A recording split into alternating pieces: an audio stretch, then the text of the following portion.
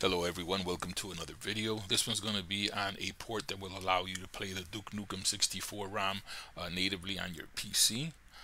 Uh, so if you do like that game and you would like to see how it runs, you know, with enhanced graphics, uh, go ahead and open up your browser. We're going to shoot on over to Rednukem. You're going to type that into your browser. Uh, the very first website that shows up should be this one, so go ahead and click on that.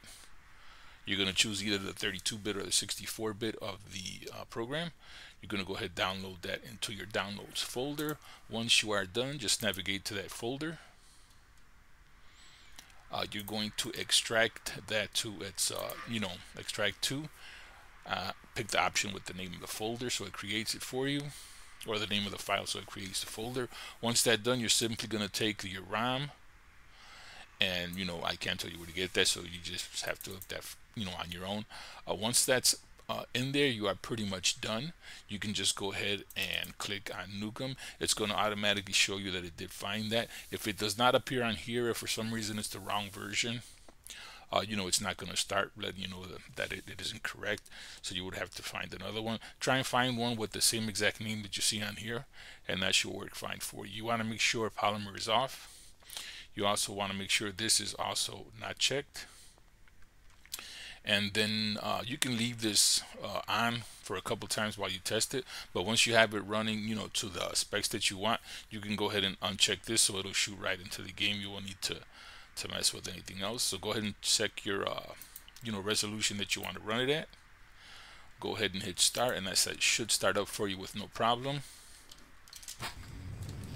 so as you can see it does run. So it's literally the uh, Nintendo 64 version. You know you'll be able to do um, you know obviously a lot more with the uh, resolutions and so forth because it is a port. So once you've picked everything you want you just apply changes. And you can jump right into the game now one more thing I am going to show you, uh, it does run with Reshade, so you can actually run it with Reshade also.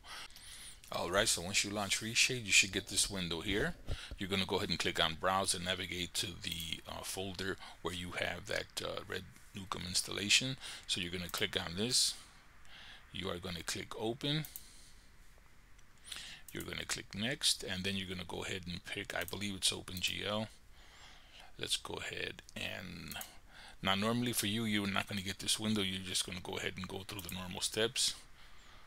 You're going to click next again and you're going to pick the effects that you want. So the one that I like to use is this one up here and then you're going to scroll down to legacy effects. We're just going to use one out of each of these. So once that loads you're going to hit uncheck you're going to go ahead and do the HQ4 on the other one. The other one I bypassed because I already had it installed. So when you guys do it, you're going to get two steps. So the first one, you're going to pick the, uh, the option on top, like I said, and then you're going to go to the one on the bottom and pick HQ4. Now what you're going to do, we're going to go ahead and launch the uh, game. Okay, once you get that launch, you're going to be greeted with this window again. So just go ahead and click on start. And as you can see, uh, the reshade did load for you so you're going to go ahead and hit the home key. That'll bring up this menu and like I said I already had this one so it's checked. So we're going to bypass down all the way over here to HQ4 if you did it like I said you shouldn't see all of these. You may see a few but the ones we're going to pick is advanced CRT and HQ4 then once you have that pick you're going to uncheck performance mode so you got the options then you're going to go in there kind of mess around with the settings. So to get it to look the smoothest here we're going to click on the HQ4 you want to try not to ever go above 1500 because you can see the 1500 there it does looks pretty smooth. You can go ahead and you know kind of lower this to make it look a little less smooth. So with this one we could probably get away with a thousand on here. So we can set that strength to a thousand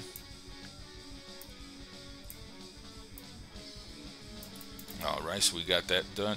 Now for the other part I kind of like it the scan lines to stand out as much as possible. So I like to uncheck this one here and then also this one. If you check them it kind of you know you see how it kind of takes away the scan line. So you kind of want at the very least go ahead and uncheck that oversample.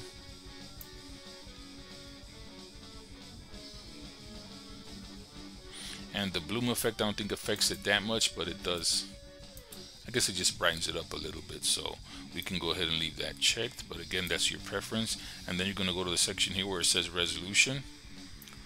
Now if you do 1980 uh, or yeah 1980 by uh, 1920 by 1080 if you do that you should kind of leave the settings more or less around here so where you get the you know the spacing between the lines but it doesn't look like it's the graphics are corrupt so right there I have it at see what number. So somewhere in and around 7.586 you want to go ahead and click performance. Once you hit escape you can go ahead and launch the game and see how it looks for you. I believe I had to load here so we'll just go ahead and load that and we'll run a little bit of the game here for you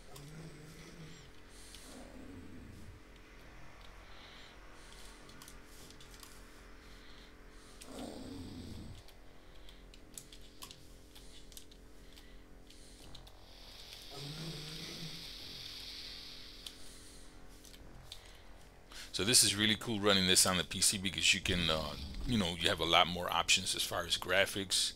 Uh, you can actually see what it looked like on the N64. There are a lot of differences versus the original one. The gameplay is more or less the same, but there are a lot of, you know, settle. Like for example, I'm pretty sure this wasn't on the PC version. So there's going to be little things here and there that differ from the, uh, you know, the PC version. And this is cool you can run it on the PC even though it's the 64 ROM one from Nintendo. So as you can see this is running really cool. So hopefully this uh, helps you guys if you do want to go ahead and give this a try. So that's the end of this video. Go ahead and give this a try if you want to check it out and we'll see you guys on the next one. Please hit that subscribe button and we'll see you soon